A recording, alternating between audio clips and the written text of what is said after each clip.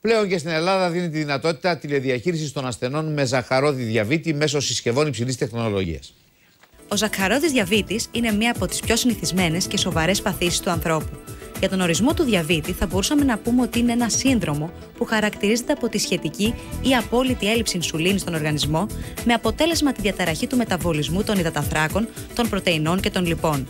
Ο διαβήτης αυτός καθεαυτός δεν έχει ιδιαίτερα ε, σημαντικά συμπτώματα, δεν πονάει πουθενά. Και αυτό έχει σαν αποτέλεσμα να συχνά να διαλανθάνει τις προσοχής των ασθενών και για τον λόγο αυτό ε, πολλοί ασθενείς υφίσταται τις επιπλοκές του διαβήτη χωρίς να έχουν κάνει τίποτα για την πρόληψή τους. Το κυριότερο μέλημα των ατόμων με σαχαρώδη διαβήτη, εκτός από το ότι θα πρέπει να προσέχουν τη διατροφή τους και την ε, σωματική τους δραστηριότητα, θα πρέπει να είναι η ρύθμιση του σακχάρου. Τώρα πια και στην Ελλάδα δίνεται η δυνατότητα τηλεδιαχείρισης των ασθενών με ζαχαρόδι διαβήτη μέσω συσκευών υψηλής τεχνολογίας. Τη βοήθεια σύγχρονης τεχνολογίας έχουμε τη δυνατότητα να παρακολουθούμε και να διαχειριζόμαστε το σαχαρόδι διαβήτη των ασθενών μας από μακριά.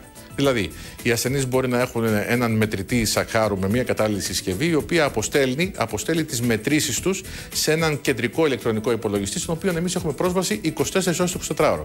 Κατά αυτόν τον τρόπο, λοιπόν, μπορούμε τόσο να παρακολουθούμε τον ασθενή, όσο και να παρεμβαίνουμε δίνοντας οδηγίες οι οποίες αποστέλλονται από εμάς με μήνυμα SMS στο κινητό.